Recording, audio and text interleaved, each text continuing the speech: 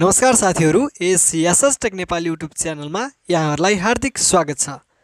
So विभिन्न technology सम्बन्धी भिडियोहरू यहाँहरूले यस YouTube channel Yasas tech Nepal मार्फत हेर्दै र सिक्दै आउनुभएको छ र आज पनि तपाईँहरू सामु एउटा विशेष जानकारीमूलक भिडियो लिएर चाहिँ उपस्थित भएको छु। आजको यस भिडियोमा चाहिँ मैले तपाईँहरूलाई प्रोग्रामिङ सेक्टरमा चाहिँ अहिले सबैभन्दा बढी माग गरिएको स्किलको बारेमा चाहिँ जानकारी दिन गइरहेको छु जुन हो फुल स्ट्याक डेभलपर। र साथीहरू फुल स्ट्याक डेभलपर भनेको के? हामी कसलाई चाहिँ फुल स्ट्याक डेभलपर भन्ने र हामी चाहिँ कसरी फुल स्ट्याक डेभलपर हुन सकिन्छ? यो सम्पूर्ण जानकारी आजको यस भिडियो अन्तर्गत रहेर हामी तपाईँहरूलाई बताउँदैछौँ। त्यसैले यदि तपाईँलाई चाहिँ फुल स्ट्याक डेभलपरको बारेमा डिटेल इन्फर्मेसन लिन चाहनुहुन्छ भने यस भिडियोलाई चाहिँ अन्तिमसम्म हेर्नुहोला र यस्तै टेक सम्बन्धी भिडियोहरू आगामी दिनमा हेर्नको लागि हाम्रो यस युट्युब च्यानल यासस टेक नेपाललाई सब्सक्राइब गर्न भने नबिर्सनुहोला। र साथीहरू छेउमै रहेको बेलायकनलाई पनि प्रेस गर्नुहोला जसले गर्दा हामीले अपलोड गर्ने नयाँ नयाँ भिडियोको नोटिफिकेसन सबैभन्दा पहिला तपाईँमा आउँछ र तपाईँबाट चाहिँ यस्ता खालका टेक भिडियो चाहिँ मिस हुने छैनन्। र साथीहरू भिडियोलाई एउटा लाइक पनि अवश्य गर्नुहोला। अब भने हामी ढिला गर्दैनौँ हामी आफ्नो भिडियोको विषयवस्तुतर्फ लाग्छौँ।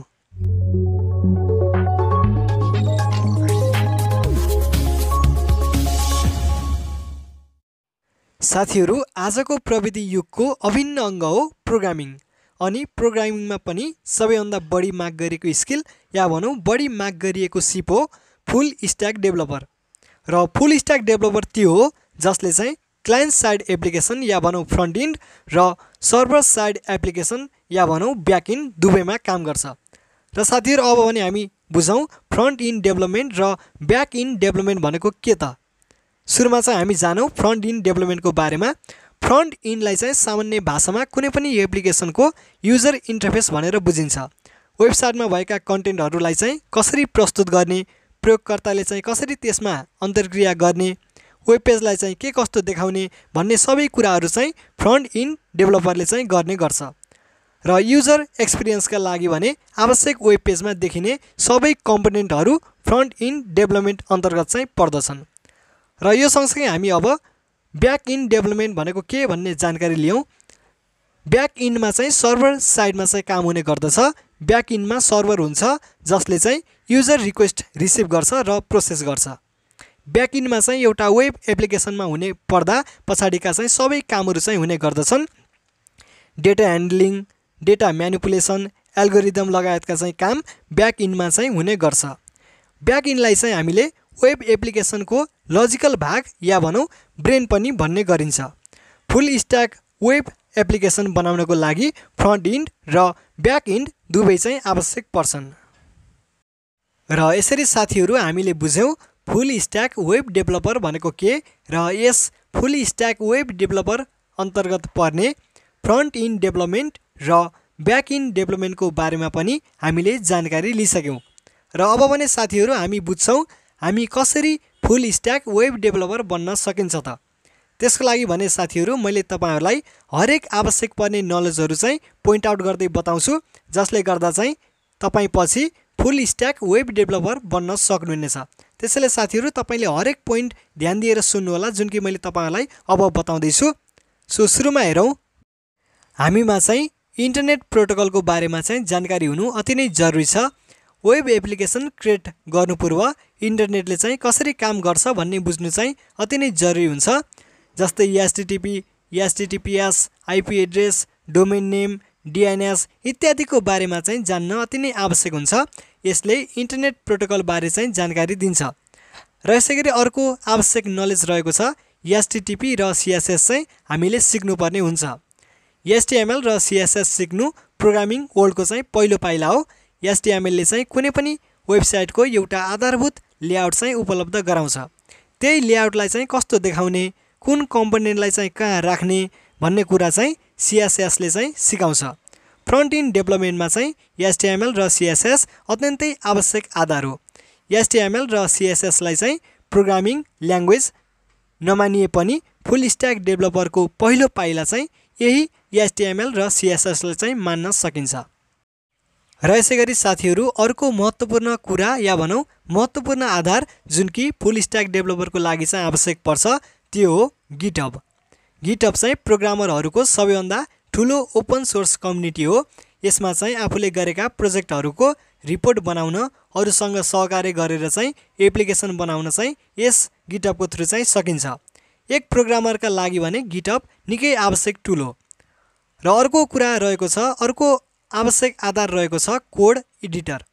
साथीहरू तपाईँले चाहिँ कुनै कोड एडिटर चलाउन सिक्नुपर्ने हुन्छ। Visual Studio Code Sublime Text अथवा भनौँ सबलाइम टेक्स्ट एटम पाइचाम जस्ता टेक्स्ट एडिटरमध्ये कुनै पनि एक तपाईँले सिक्न सक्नुहुन्छ। यो तपाईँको कोड गर्ने प्लेटफर्म हो। तपाईँले चाहिँ यसैमा कोड गर्नुपर्ने हुन्छ। तपाईँले त्यस कारणले गर्दा कोड एडिटरको बारेमा पनि जानकारी लिनु या सिक्नु अति नै जरुरी छ। र साथीहरू यो सँगसँगै फुल स्ट्याक वेब डेभलपर बन्नको लागि तपाईँमा हुनुपर्ने एकदमै आधारभूत कुरा या भनौँ तपाईँमा हुनुपर्ने एकदमै आवश्यक नलेज हो जाबा स्क्रिप्ट ल्याङ्ग्वेज हजुर साथीहरू जाबा स्क्रिप्ट ल्याङ्ग्वेज तपाईँले चाहिँ एचटिएमएल र सिएसएसमा चाहिँ डिजाइन गरेको वेबसाइटलाई चाहिँ जाबा स्क्रिप्टले कार्यात्मक या भनौँ फङ्सनल बनाउँछ। जाबा स्क्रिप्ट ब्राउजरमा चाहिँ चल्ने एक स्क्रिप्टिङ ल्याङ्ग्वेज हो। सिएसएससँग चाहिँ जाबा स्क्रिप्टको प्रयोगले तपाईँले वेबसाइटमा बहुआयामिक र इन्टर एक्टिभिटी चाहिँ गर्न सक्नुहुन्छ। जाबा स्क्रिप्टले चाहिँ सर्भर साइड र क्लाइन्ट साइड दुवै क्षेत्रमा चाहिँ काम गर्छ। त्यसैले एचटिएमएल सिएसएस पछि चाहिँ यो स्वत अर्को स्टेप हुन्छ।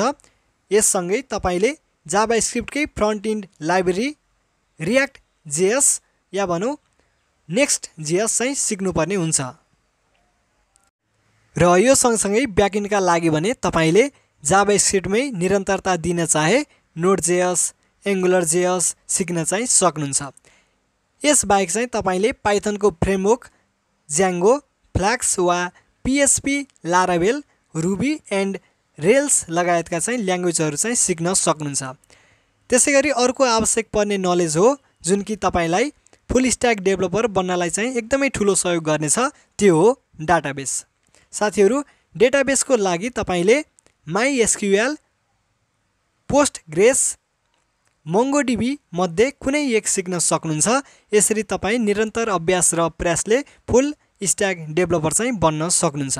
साथीहरू यो थियो आजको यस भिडियोमा। मैले तपाईँहरूलाई फुल स्ट्याक वेब डेभलपरको बारेमा जानकारी दिएँ। त्यस अन्तर्गत पर्ने ब्याक इन डेभलपमेन्ट र फ्रन्ट इन डेभलपमेन्टको बारेमा पनि जानकारी दिएँ र हामी चाहिँ कसरी फुल स्ट्याक वेब डेभलपर बन्न सकिन्छ भन्ने जानकारी सबै एकदमै डिटेलमा बताएको छु।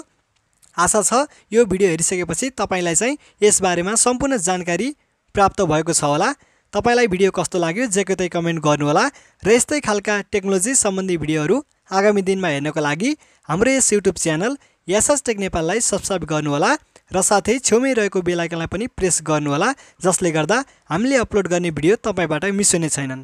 र साथीहरू भिडियो मन परेको छ भने भिडियोलाई एउटा लाइक पनि अवश्य गर्नुहोला। तपाईँको समय शुभ रहोस् धन्यवाद।